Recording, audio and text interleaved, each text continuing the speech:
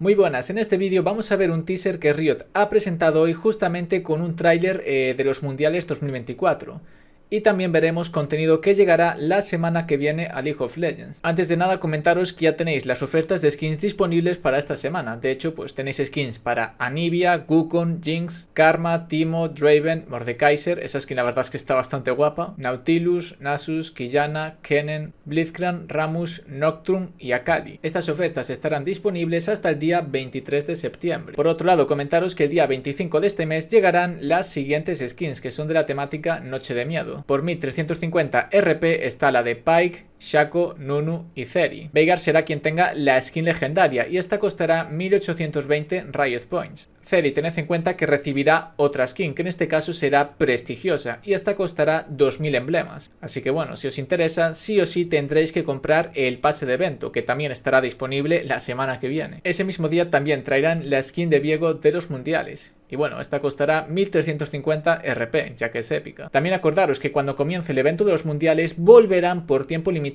skins de legado, como pueden ser de la temática pues, de Conquistador, Challenger, aparte también de las propias skins de los equipos que ganaron eh, los mundiales de años anteriores. Vamos a ver ahora el teaser que Riot presentó justamente hoy con el vídeo de los mundiales.